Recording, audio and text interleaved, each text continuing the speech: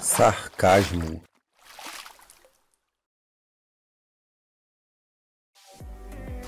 O termo sarcasmo tem um sentido de zombaria, deboche. É uma figura de estilo utilizada na literatura e na oratória, muito ligada à ironia, com um intuito cruel, amarga e provocatória que fere a sensibilidade de quem a recebe.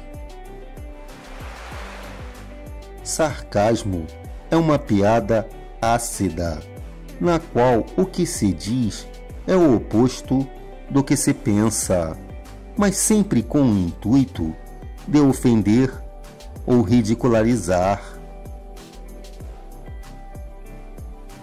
Exemplos de sarcasmo eu preciso que você me dê um presente.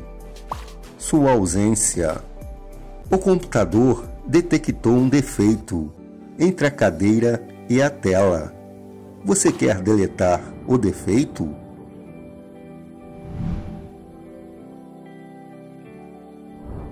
Diferença entre sarcasmo e ironia.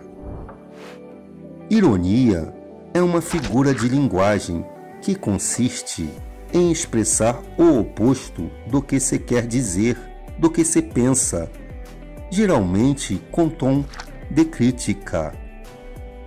Sarcasmo é um dito ácido que, embora possa ser expresso também através de uma ironia, tem sempre o propósito de zombar, ofender ou ridicularizar.